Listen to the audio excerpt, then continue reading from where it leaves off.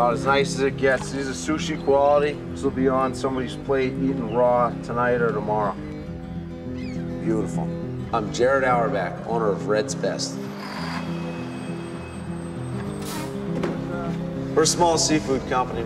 We ship the freshest fish right off the boats all over the country.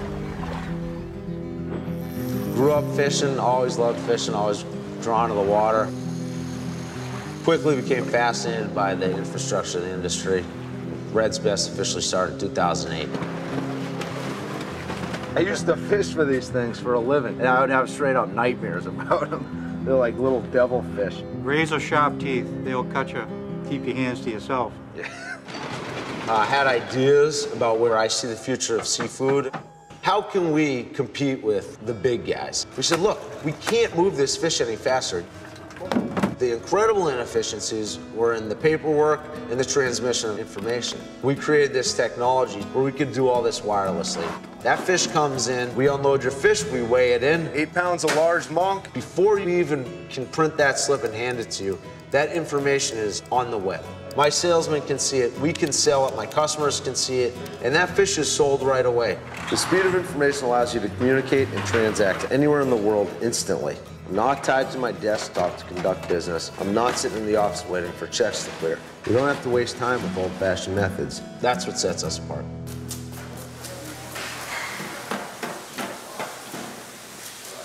One thing about being in the seafood industry is there's never a typical day.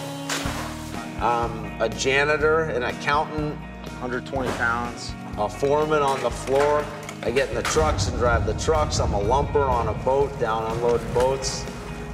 I like the idea of the guy being afraid to get dirty. he gets right in here. I, respect hard work. You have to accept the chaos and you have to thrive on the chaos. How do you not go through the cooler at the end of the... Let's go on the opposite and talk. You're all working towards the same goal. You're all trying to get that fish out to the customer as fast as possible. Bluefin tuna, hand line. It was caught late last night. Pretty awesome fish. We're gonna just export it to Japan later today. There is that level of satisfaction of cleaning out your cooler. That's it, you go home.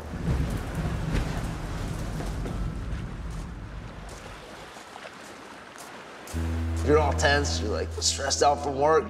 To me, there's nothing better than going free diving with my spear gun.